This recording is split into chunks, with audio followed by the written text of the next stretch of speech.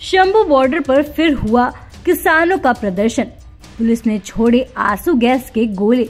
जी हाँ किसान बुधवार सुबह एक बार फिर अपना दिल्ली चलो मोर्चा शुरू करने के लिए अंबाला के पास शंभू सीमा पर एकत्र हुए, जिसके चलते भीड़ को तितर बितर करने के लिए हरियाणा पुलिस ने आँसू गैस के गोले दागे। पंजाब के प्रदर्शनकारी किसानों ने विभिन्न मांगों को लेकर दिल्ली तक मार्च करने के अपने प्रयास में हरियाणा की सीमा पर बैरिकेड हटाने का नए सिरे से प्रयास किया है। प्रदर्शनकारियों ने दावा किया कि जब कुछ किसान शंभू सीमा पर बैरिकेड के पास एकत्र हुए तो हरियाणा पुलिस ने बुधवार सुबह करीब आठ बजे आँसू गैस के कई गोले दागे।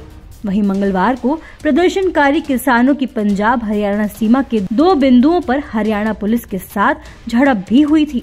किसानों को तितर बितर करने के लिए पुलिस ने आँसू गैस के गोले छोड़े थे और पानी की बौछार भी की थी। आइए आपको दिखाते हैं पुलिस कर्मियों की तैनाती और किस तरह से दिल्ली बॉर्डरों पर बैरिकेटिंग की गई है।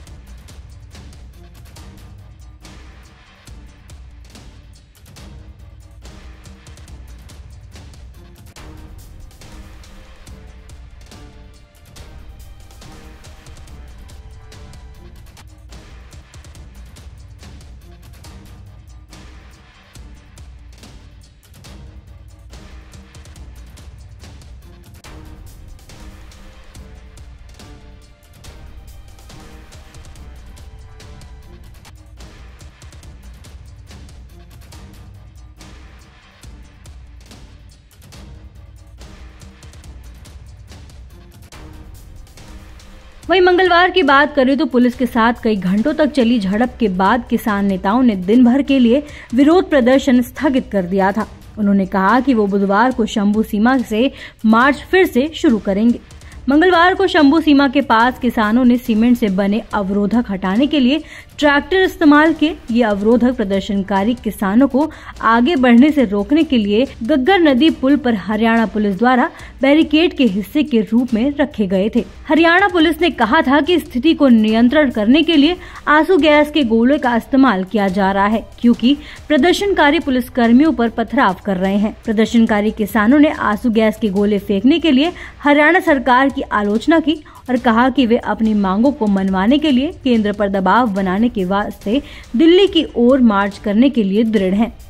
वहीं संयुक्त किसान मोर्चा और किसान मजदूर मोर्चा ने घोषणा की है कि किसान फ़सलों के न्यूनतम समर्थन मूल्य, यानी एमएसपी की गारंटी के वास्ते कानून बनाने सहित अपनी मांगों को लेकर केंद्र पर दबाव बनाने के लिए मंगलवार को दिल्ली कूच करेंगे। सोमवार को केंद्रीय मंत्रियों के साथ किसान प्रतिनिधियों की वार्ता विफल रही थी। ऐसी ही देश दुनिया की तमाम अपडेट्स के लिए देखते रहे समय डिजिटल। वीडियो को लाइक करें, दोस्तों के साथ शेयर करें और चैनल को सब्सक्राइब करना बिल्कुल ना भूलें।